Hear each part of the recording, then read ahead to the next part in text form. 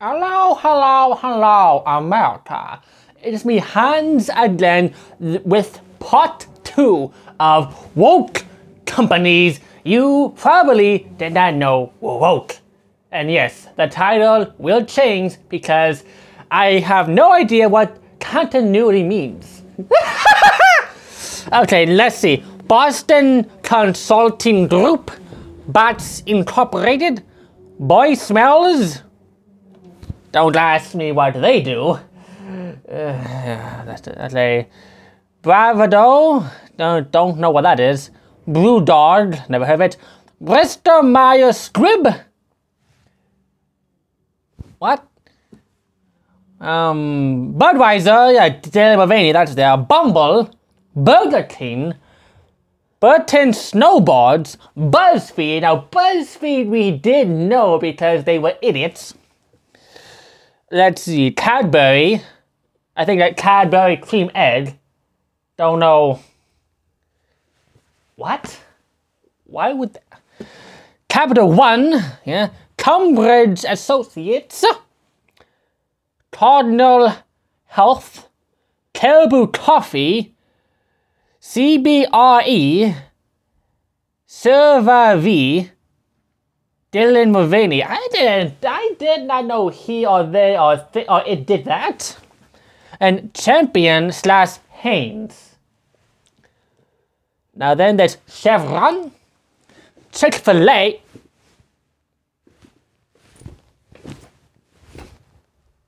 Oh yeah, because they donated to to Pride Month. Chipotle, that makes sense. Cigna, never heard of that. Cisco, I think, I don't know what that is. Civic Entertainment Group, Climate First Bank, Climate Climb Credit, Coca-Cola, we kind of knew that from like 2021.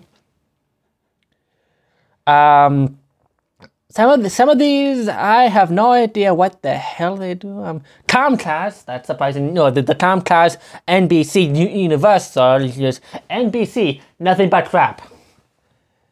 Condé Nast, um, Cowboy Ventures, and Cracker Barrel.